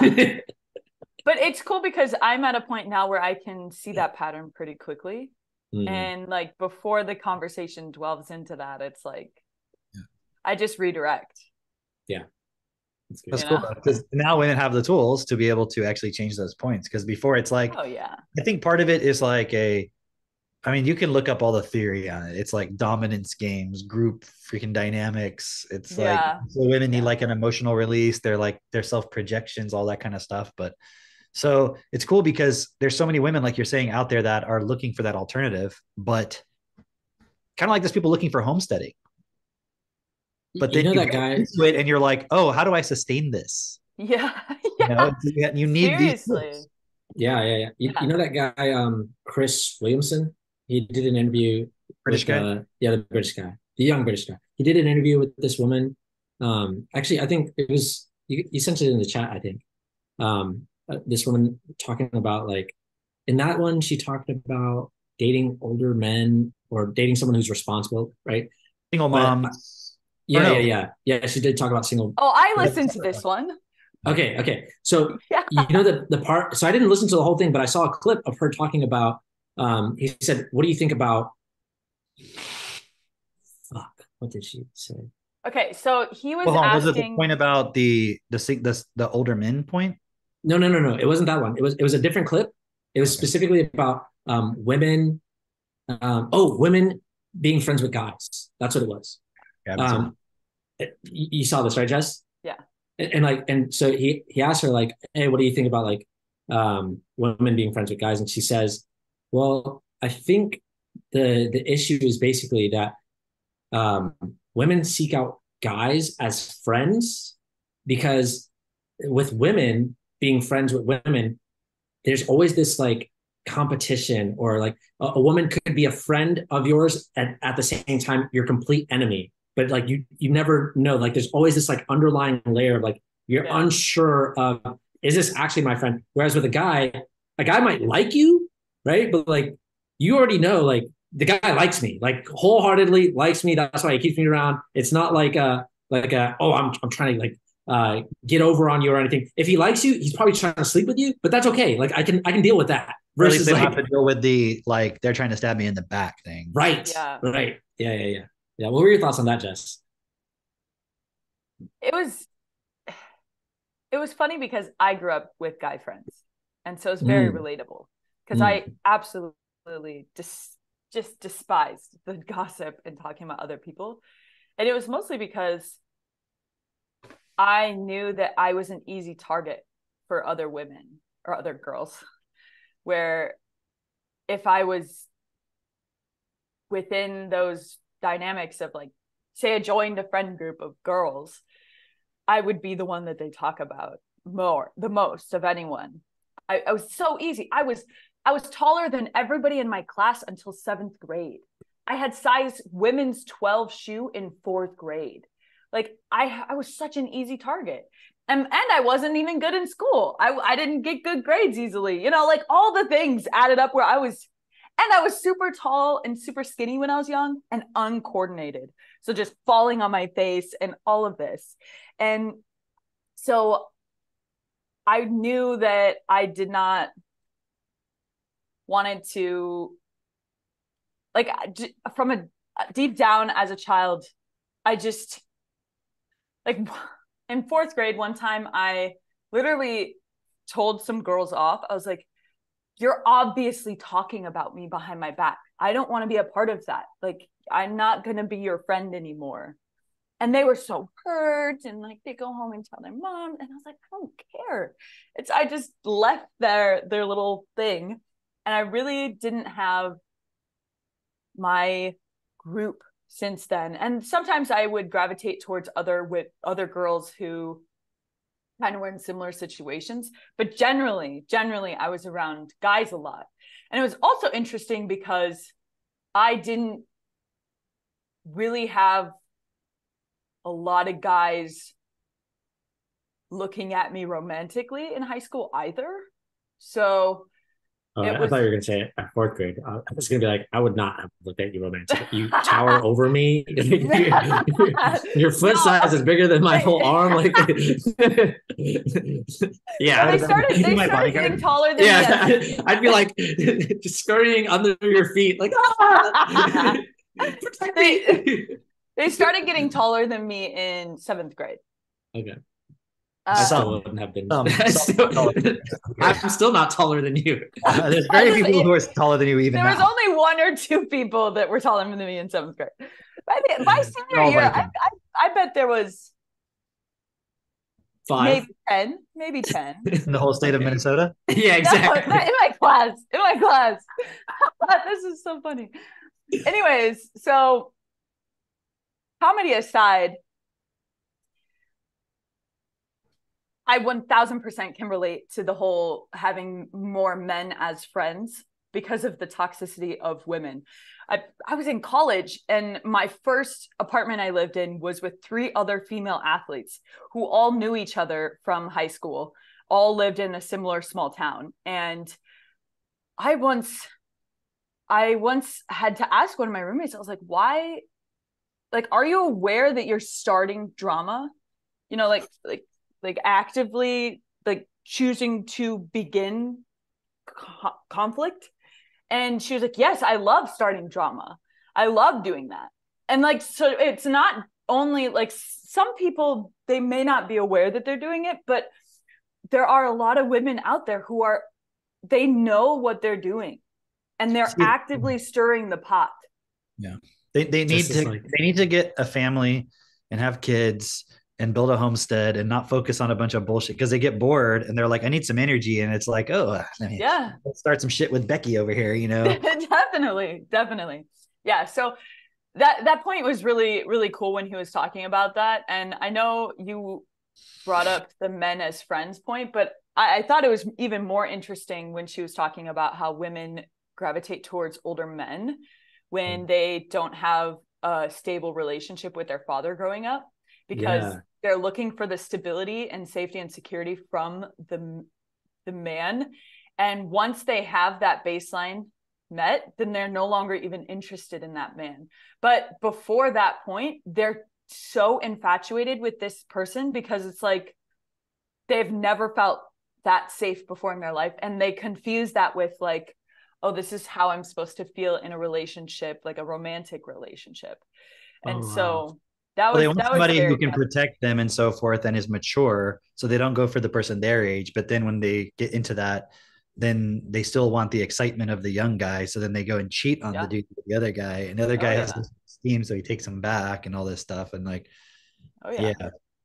Yeah and and in that dynamic like you'd think that the older man has the power but it's not. It's the younger woman because she's manipulating him with Well, being a young woman women women always have the power. They they just don't realize how much power they But I have. really think all of the stuff about the patriarchy is just women like spreading all of these conspiracy theories so that no one will put the blame on them. Like even I'll just think about the wars and stuff. It's probably like oh some yeah some like prime minister's wife in Russia or something. It's like, did you see the way that bitch in Ukraine looked at me? Like you let them Seriously, though, me like- that. And so like these all these wars are just like women like doing You know, you know, actually, actually, we we know that wars have been started by women from antiquity because of Helen. Helen started a whole fucking thing with like Troy and I don't Well, even the- know. the, the, I I in even more practical sense, like it's definitely the women because if men aren't being like if they don't have their baseline met they'll just go figure it out. Women are like it's like they're it's not that they're fully dependent because like i know there's this whole feminist movement but like on a deep down level like say you have a child like an infant you're not in a position where you can go and actively work while still being 100% present with that infant and so it's like there's different stages where women literally are dependent on a man to provide that safety and security. So on a global scale when women aren't being provided for then that stirs up so like the instability that creates within a woman's life is so much more irrational than a man. Like a man is like okay then i'll go get it. Even if it's not gotten in the best way with the women it becomes like this manipulative like war inner like this inner war that creates an external war in the world. And mm. it's it's very ugly very very ugly. Just like the external presentation of the instability within women because women they feel that negativity like seven times more than men. This has been founded that women experience the negativity way more and they're way more in tune with what's going on around them. Like if you throw a man in a situation where he has to consider the entire room and how to accommodate everybody in the room and all the things, it's very different than when a woman is in there accommodating a group of people. Just is what it is. And that's the same with our even with animals. I we find like when Mitchell's caring for the animals and when I care for the animals, Mitchell will make sure that they have food and water. you know what I mean? Yeah, right. He's probably in there like snuggling them in the little corner. so we were building. So when we were insulating the coop, I was out there um, with my dad at one point, just me and him. And one of the chickens was like, I want to be involved in this process. and it kept jumping up on the. You're like, can you use an impact driver? yeah it just kept it kept jumping and getting in the way and getting in the bed of the truck. And i was like well i don't want it to shit all over my dad's stuff in the bed of his truck. So i'm like grabbing it. So i just end up having to hold this chicken and it's then it's satisfied while i'm holding it. So i'm i'm doing this this one-handed holding the chicken. And i'm just thinking like if if it was mitchell they would have just kept shooing this chicken away and it, w- it would not have been sufficient. This chicken just needed to be held. But um and then it's like it's like when you when you look at the the war that women cause is also an externalization or it's more of like a the macro size of the the micro that they have between women.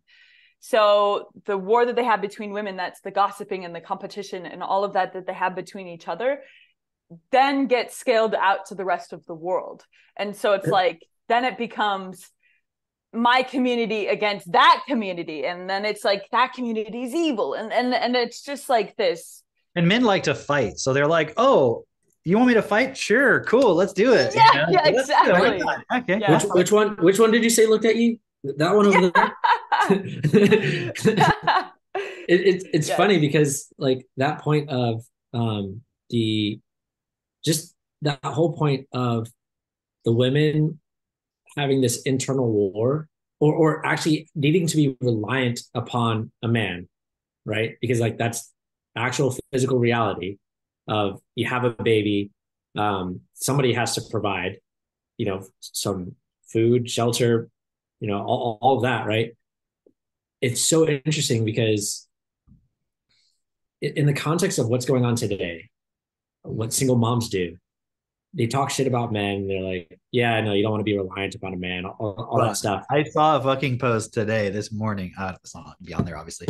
It was like, it was like someone sharing a post saying, stop judging single mothers. Most of them are good, faithful women who just fell into the hands of the wrong man. There you go. There you go. And I was like, I showed Katie. She was just like, it's it's so interesting because like typically like you see this a lot. Like you'll see this in movies um, with like where there's a single mom involved, where But the who's mom will- judging them? well, it, it's not. It's You know what I mean? Like this, like they're not stop- being judged though. Hey, stop judging single moms. You're like, who are you talking to? Well, you know what it is. You know what it is. They feel judged for one, and and 2 They're also judging themselves. Well, yeah, but it's like this. It's this. If someone says, "Hey, it's not best for children to have single parents," then they're like, "Stop judging me." I'm, like, trying I'm my hardest. about your kids. I'm not talking about you. Damn it. Right. right but but here's the other thing is like then they go and they're judging the man right like they and, and Right. then and then so like they'll be talking shit about the man or whatever to their kids because they do that Right. and like what ends up happening is if the child is like say the child is a boy who's going to grow up to be a man what is he learning? He's learning like oh men aren't reliable. I'm going to grow up to be a man so i'm not going to be reliable. You know i can't be trusted. You know that all these things like become internalized. I was talking with a mom who was telling me this you know not too long ago where she was like yeah there's a lot of single moms in our community and you know a lot of times like they want to talk shit about the father of their children and i'm like whoa whoa whoa whoa whoa what are you doing um you have a son is this how you want your son to turn out like because that's what you're everything that you're upset about or whatever you're not correcting it you're just saying all the bad things and then what's he going to grow up believing he's going to end up doing the same thing be the guy who does exactly what happened to you. So exactly changing anything. You're just complaining, and it's a point of just totally blaming the other person. Right. Right. And and I know what it's like from the perspective of like, you know, the way that mom is probably thinking is like, you know, if I if I tell you these things, maybe you won't do it. Like parents think that way all the time, right? Where it's like, if I if I tell you these things, maybe you won't do it. You won't fall into this trap. If I complain about men on Facebook, my, son won't become a, a narcissist. If I if I nag you enough, maybe you'll like me. You know, like that's that's literally the logic that I see. Worked with your father. it worked with your father. Yeah, that, that's a very interesting point because it's like that's all that is is an unwillingness to take responsibility. it's a, it's in like you said It's- earlier, it's an irrationality. You know, and it's, Yeah. I don't I don't want to say it like a way like oh men w- women can't be rational, but women are definitely more in tune with their emotions and make decisions more emotionally first, and then tend to justify those decisions rather than like um, a man will make a decision. We also make decisions emotionally, but we tend to uh, follow some sort of like logical reasoning to Yeah, but but women women are really good at deceiving themselves and they will make a decision emotionally but justify it logically. you know what? You, you can't be the the only one who's Using sense. girl math. yeah using girl math. You you can't be the only one who's good at deceiving yourself. We're good at deceiving ourselves too. You know what? This entire world is good at deceiving itself. That's how we're here. Okay. Men can And- deceive okay, themselves just as good as but- women. Yeah, yeah. Listen, I'm a deceiver just Better. like you. Yeah. It's Wait, it's- hang on, what's, it- what's the what's the the Tyler Fisher? That's sexist. you know, you know what I'm talking about? No. The guy, the small guy who's always like making the uh, Oh, Tyler the man bun. Yeah, that guy. Yeah, he's like, you're you're you're a bigot. You're racist. Yeah. Uh, you were supposed to wear a mask, but oh, okay, you're supposed to get vaccinated, but then that's that's uh, racist. Uh, hang on. Um, You're a racist. Got my checklist.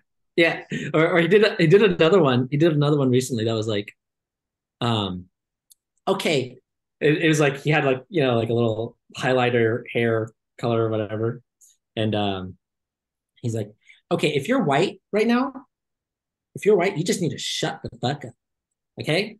You, you do not have any right to talk about what's going on with like the Middle East or any of that. You, you just need to be like our our black brothers and sisters that he shows, like the BLM uh, uh, Twitter, and he shows it's literally a parachuter and with the flag, the Palestinian flag, and it says we stand with Palestine. And I didn't know that they posted that. And he All was like, right, I had no idea that they I had no idea they had like literally the parachuter. Not not like not just Like they were like, we're actually okay with the actual terrorism part. Exactly, exactly. Which is so ridiculous. It's a he was Why is anyone "We surprised about that though? You know? Yeah, yeah, yeah, yeah. He's like, we stand with the. Oh, oh no, not that. Oh, uh, uh, wait, uh, just, just. Everyone's racist. Just, just everyone's racist. yeah, he's good. He's fun. What were you gonna say, Jess? Uh, I was just I was just uh the solution to all the gossiping. Oh, yes. It's give it to very very practical. And some women are even aware that the solution is just to look at where you can take responsibility and to just stop participating in the gossiping. And but it's But also it's like that need for energy, right? yeah, they don't they don't Problem. It's they're like you, addicted. That's why like you look at a movie like. Game or a show like Game of Thrones or stuff like that, and it's all it's drama based. You know what I mean? Not just like a drama, but like actual like it's about the backstabbing and the this and the that. So you just look at why that's so popular, and it's because people are looking for that that energy of that. So doing this process, you stop participating in that, and then you look at what practically do I need, and you can get you still can get energy, but you don't need to get it in this unbalanced, destructive way. Yeah. Yeah, and it, and it's it's cool because with this community and the tools that we have, if there's issues happening at home, simply doing the basics of this process alone, you alone, that will support whatever's going on. Even if you think that it's just the other person, I guarantee you that on some level you're co-creating the issues going on. You are 100%. It doesn't mean that's your fault, but you changing the points will support them to go out of that pattern because you go into the pattern and you're like blaming and then just holds the pattern in place. There's like no room to like, it's kind of like what we're seeing with the whole Palestine Israel thing. It's like they're both on both sides. I saw a really great interview with uh, Slav, Slavoj Žižek, you know, the, you know, I like that. I like- oh yeah, I know who you're talking about. I like how you turn to look at me like as if I know how to pronounce his name. It's just it's slash slash slash. I I don't know if I got a clue. so anyways, uh, uh, let me do this a couple times. um but uh but he he had a really he, he's got some interesting points and uh he's getting really attacked right now because he's like he's not pro hamas but they're like making it like he is um uh why the fuck did i bring it up anyways i don't remember You were But- saying you were comparing how it's the same thing as with Palestine and Israel. oh When- yeah his point his interesting point about it was both sides are an extreme point that are making it impossible he's not really saying that like the Palestinian people who are kind of stuck in that situation. It's just like the Hamas side, the Israel side. They're both extreme sides that are making it like they're fi- feeding into the whole point, right? Making it totally impossible. There was another point. Oh, Um, Cameron, can can you just go back just a second to like, you know, I'm pretend I am a woman, right? And okay, I, I have a wig. I'm I have a Costco membership. Pretend all those things, right, are true about me. And uh, I just I do all the work in my home, and like I want my husband to just do something, like anything. Like that would be great if he would just get off his ass. But I don't know what to say because like when I nag him, that doesn't work, and I've been nagging him for a while, and you know nothing's changed. Uh, when I stop nagging him, he still doesn't do anything. So I, I feel better about nagging because then at, at the very least, I get to get that out, you know? So like, how am I co-creating this? Because it doesn't matter whether I nag or don't nag. So, you know, My wife doesn't nag me. And check it out. Look what I'm doing for her. In addition to all the other things that we are doing. Ooh, that looks like a sink. Look at that. That's just part of it. I'm totally redoing the entire bathroom. All right. Here's how you do it. Here's, here's what she did. She goes in the hmm. bathroom. This was months ago, and she rips down all the wallpaper. Okay.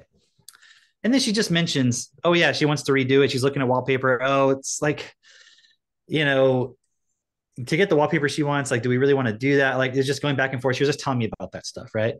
And then I end up redoing this office here at the ranch. Paint everything. It looks really nice. You guys should see it sometime. I mean, look at those bookshelves we made. Those are nice. See it sometime. I'm gonna see it in like ten days. Oh, I know. I meant everybody else. Oh. Um, it looks really nice in here now. It's like really comfortable. Before it was a very dingy, disgusting barn room. Anyways, so I do all that, and I've never really painted like walls and stuff before. I mean, I had, but you know, it wasn't like I ever took it on as a thing. So then, you know, once I'm done with that, she starts mentioning we had a whole bunch of other stuff to do. So I had to build some things for because we have the event coming up. So I got once I got all of that basic stuff done, then she was like mentioning about the bathroom. Like, um, I forget what she said, but I was like, you know, now that I, I know how to do all this, like I can do the bathroom. Now that seems easy compared to doing all this stuff. Right. And then she starts telling me her ideas about like, oh, you could have like a wooden because we have all, all this tile in there and like the vanity is all tile so I don't have a picture of it, but that same wood I used for the sink the sink countertop, I'm putting that over the tile for the we had two separate like a vanity and then like the vanity with the sink. That's like two separate ones, right? So I'm mm-hmm. put wood over that thing, right? And I'm like taking it on. Right. So I'm just saying, like this whole thing of like get your husband to get off his ass. It's like he doesn't see that it's something he wants to do. You know what I mean? Like for you. You know, and it's like there's no appreciation between each other you know, and all she has to do is be like, oh, that looks really good. That's a good job, you know? And I'm like, okay, well, yeah. You think that's good? You really, you think that's good? Watch this. Wait till you see this. Right. And I'm like learning shit. Yeah. I didn't know how to do anything about fucking sinks and countertops. And like, I took that whole cabinet off. I took the old sink off. I repainted the counter, the, the cabinet, right? Like everything, right? We're repainting it, t- painting the walls, the ceiling, everything. It's already looking better, right? And, uh, like the valve, the, the shut off valve for the cold water is leaking, right? So I'm like, when you turn it off, so I just shut off the main water. I'm like, hmm, how do I fix that? So I'm learning how to fix that thing. You know, I'm having fun. So I don't know what you guys need. What, what's the problem? Like these guys don't want to do anything. Like I just want to play video games. I don't play video games because I don't want my son to play video games. I mean, they can play some video games, but you know, they're not playing like fucking. What are the videos? Video games. Yeah, chess. but it's like from like the 1990s, like freaking. he plays chess with me. Oh, that's oh yeah, yeah. yeah. They haven't played any real like they used to play lemmings and stuff, you know, but now it's like they're just playing chess all the time. That's yeah, like yeah. right. Yeah. So that's, that's I guess my point was just like this whole idea of like you can't get your husband to do anything. It's like it's because you I don't know. It's it's it's not that it's the woman's fault. It's just the guy doesn't have any purpose. And so like for me, I have a real purpose and then it's like okay, I can fit this into that versus I don't have any purpose. I just feel bad. Let me just go and like entertain myself. You know, and like a lot of couples, like they're they're the way that they it's like they don't create anything. They're just like, let's just watch sports in Netflix. Yeah. Nothing wrong with watching some Netflix or watching some sports every once in a while, or even on a regular basis, but that can't be your only point of your relationship. Yeah. Like, let's go to work and survive and then go out to eat and watch Netflix. And it's like, yeah you're what are you creating in this world like and then by doing that you're just allowing all the other shit to happen yeah you know the people who are doing all the shit in the world they're creating it you know and so why aren't we creating you know and it can be as simple as starting to create something you know in your house but um yeah i think another point too is the women gossip about their husbands in their mind they're constantly talking. Oh snap! Hold up, hold up, wait. I mean, Cameron. the man's doing it too. I'm sure. I mean, hold I on, hold on. This hypothetical woman says, she says, "I don't talk to anybody about my husband." What do you mean talk about gossip about my husband in, in head? Yeah, yeah, in their yeah. minds. Oh, That's yeah. Not fair. It's not fair. I can't control Actually, it. I'll, I'll tell you something really cool. The other night, because generally right now, like I've explained before, Caius is he's getting close to that age where he won't need only Katie, but now she's mostly focused for him for bedtime. So I do the older kids' bedtime generally. Mm-hmm. Um, so the other night it was like close to bedtime. I think it was bedtime or something. And Seneca, she's talking to me and she goes, "Hey Cam," she goes, "You know, Katie really likes you." And I was like, "Really?" And she goes, "Like, yeah." And she goes, "She likes you a lot because you do hard stuff." And I was like, "Oh, that's really cool." And I'm like, "Where'd that come from?" Yeah. You know I mean? Like Katie must have said something or she's just picking up on it. I don't know. Yeah. But it's like, do you know what I mean? So, yeah. And it's not like um, we're special. You know? Totally like we're just sharing you guys are doing it too. Like we're all just sharing like what we're we're not fucking special people. We're just looking at principles. We're holding ourselves to it. And what usually happens is the moment person faces the negativity they don't stick to the principles. They compromise and then they go off into fucking survival land. And then it's going to be years later they're like oh i've got the drama i've got all this i've got all that they don't know how to deal with it. And then they don't want to talk to us anymore because th- they know when they talk to us we're like so what happened to the principles? What happened to the point of standing up in this world and, sh- and changing the system? And it's like oh you're just talking about that again. It's like well you're try- just want selfishly you want me to solve your problem but i'm telling you that's how i solve these problems. And it's not that we don't have problems it's just the little problems we don't have those drama problems you know and that's very easy to solve and you're never going to be able to solve it in the paradigm you're in. It's Yeah. like you can't take a relationship course and solve the drama problems. It's just like why are you both participating in it? You have to solve the why so that you're not looking for that anymore. Because if you're like my wife's not fucking watching uh game of thrones.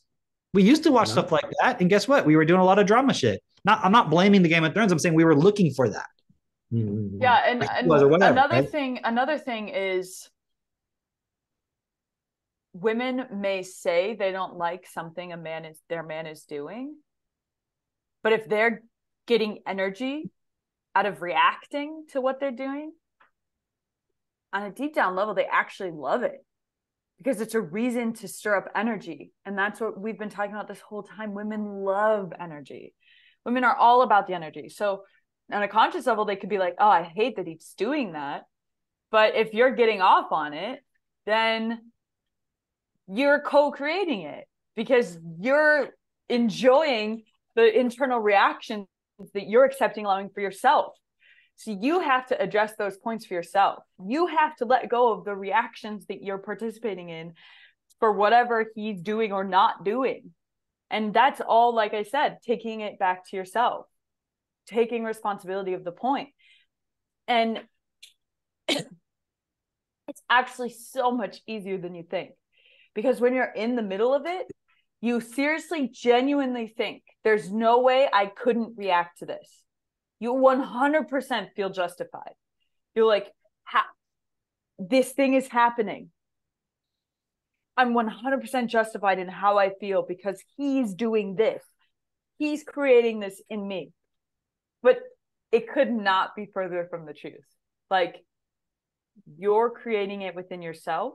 And nobody can create a feeling in you Mm-hmm. and you have to walk this process to support yourself to stabilize and no longer participate in those things and as you do that there will be no reason for him to continue doing those things he's not getting the energy that he wants to get from it Let me interject, okay? not.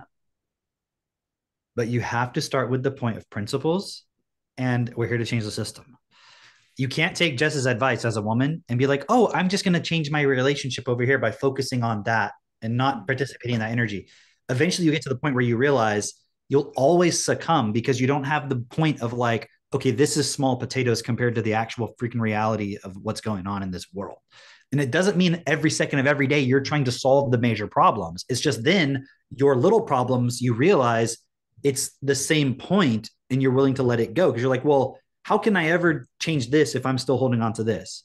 But if you're only ever thinking about your small little world the thing is something's going to happen in your life because the system is not effect is not designed to be best for all that's going to put so much pressure on you or the other person or both of you that you're going to crack. You're not going to stand up to the pressure because you won't have that higher sense of purpose of like okay we can get through this because we are here to change the system. This is a test you'll just succumb be like no it's just about survival. Go get a fuck you know whatever like you'll you'll you will compromise.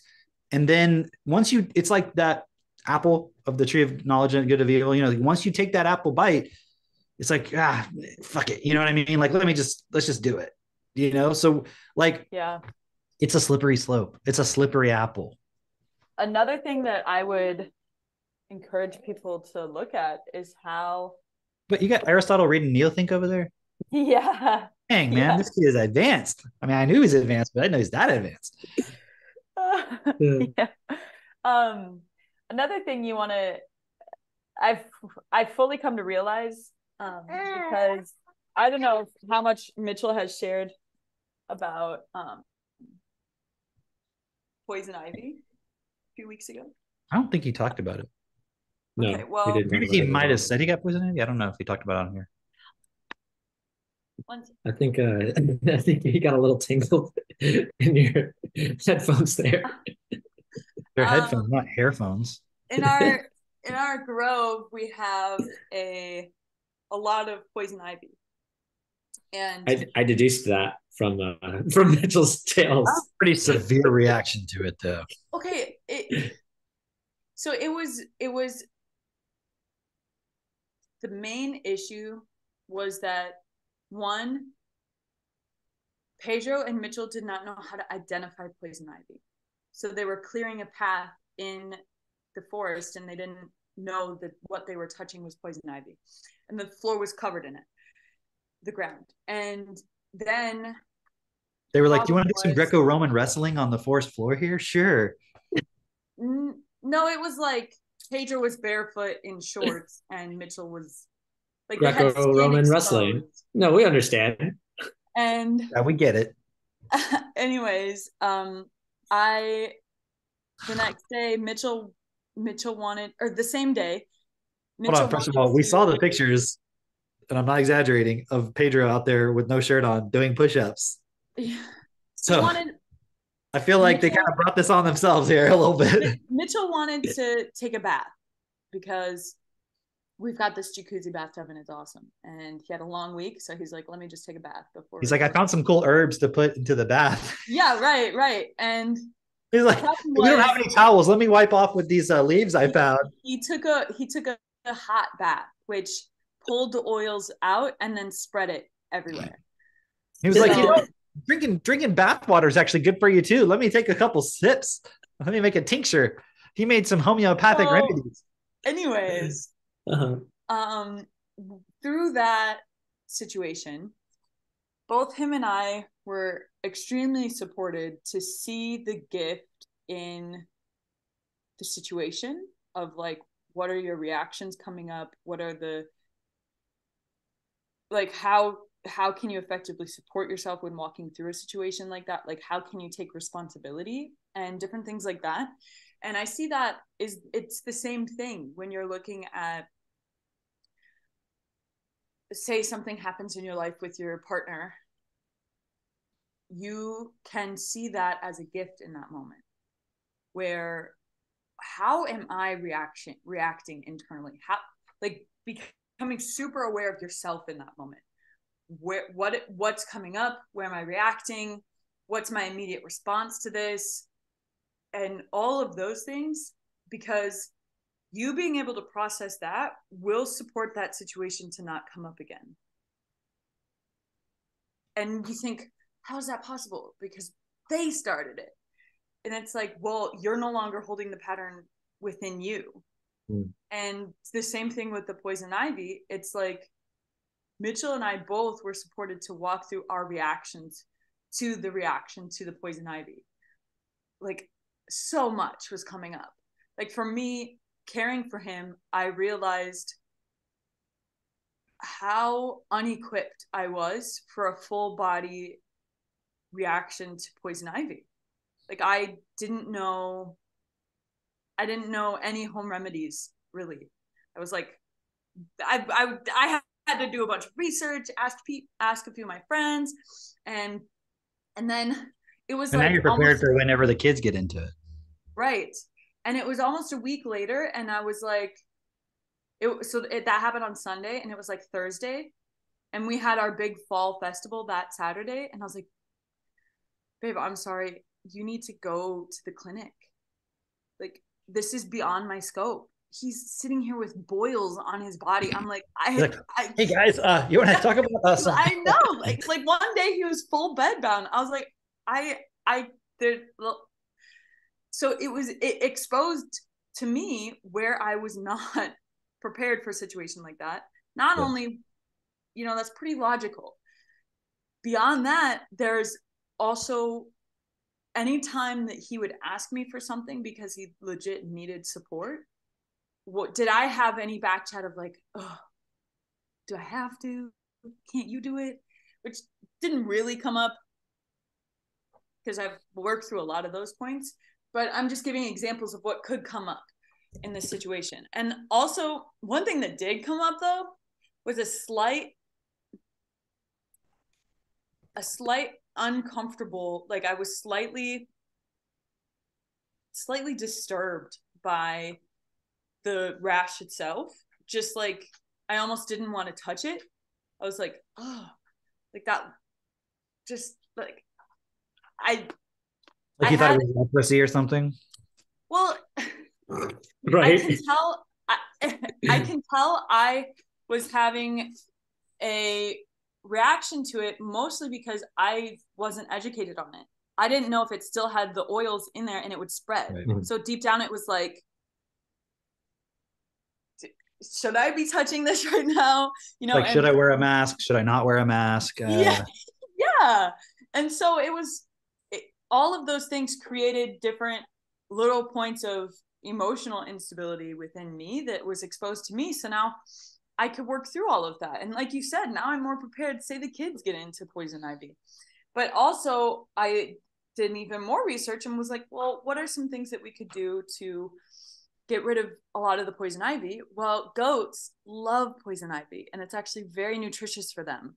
So if we borrow, If only you knew somebody with goats, man. If I na- we borrow our neighbors' goats, or maybe get goats for a summer, and just let them mow down all the. They they'll eat buckthorn, they'll eat thistle, they'll eat poison ivy, and we got all three of those invasive plants on our property, so we could just Nice. raise them in all the spots we needed. Hey, Nice. Jess, what is your husband's name again? Mitchell's. More like Itchel Snyder. But Hi, Jessica. Yeah. Hi, Max. are you guys ready to wrap it up for today? We got that parenting all coming up in a little bit. Yeah, get- yeah, this is good. I'm gonna have a few words real quick, Maxie. We're about to end our podcast. So, would any of you like to play chess? like, Drake, could you? I don't know if you guys know this, but Max really likes chess now. Really? Really? Is that so? I like playing No. Max and chess. Hadn't really noticed. It wasn't that obvious, Max. Hmm. Well, Being sarcastic. yeah, we can wrap this up. We can play some sarcastic. chess. That sounds good. But Drake, could we play chess today? We got some meetings and stuff to do, but maybe gonna- later. What about in the evening? Like, when could when? Could we Well, all- let's message him after that we're done recording. Yeah, yeah, that Where sounds is it? Aristotle, good. And Hey, he sounds a lot like Caius. New baby. Him and Caius can talk to each other like, nah. Yeah. He literally speaks the same language as Caius. Wow, that's so great. He, He's he's really into mooing. But I- Because Hey, we have a lot of books that so- have cows in them. And we had cows in our back pasture for a while. So now he's really into mooing. And he'll moo on command when we're reading a book, which is pretty cool. and and and the neighbor's cow hears him as well. So like you guys can go back and forth with that big. What was that big cow's name? Do you remember the big bull? The bull. Oh, noble. Noble, Noble. You remember Noble Camp? What happened to him? Well, they tried they tried to butcher him, but he wouldn't get into the trailer and he broke he broke all their stuff. And so they were like, okay. So they waited to the next year. Um, they got him in the trailer the next year, but they waited a whole year. They were like, Oh. oh, let's So not he's so now he's no bull. He's Yeah, not a now- bull. now there's no That's a bull. guy. You're, you're actually. I was beautiful. He was Like beautiful. literally. Yeah. Talking about your new cow. And, and we ended we actually ended up getting some of the ground beef from Noble. It was tasty. Oh, nice, nice. I, that would be like a bull to like sire your cows. That, that was a big bull. Anyway, uh, let's wrap Okay, this up. gonna go. I was gonna say something. What? Are you having another meeting? Jim? Yes. What is it? We have our parenting call coming up shortly. So we'll we'll, we'll message We're you. gonna we're just gonna end the the live stream and end the recording, and then Bye. we can Talk keep after. talking. Okay, Max. Okay. Say bye everybody. Bye. I'm feeling Bye.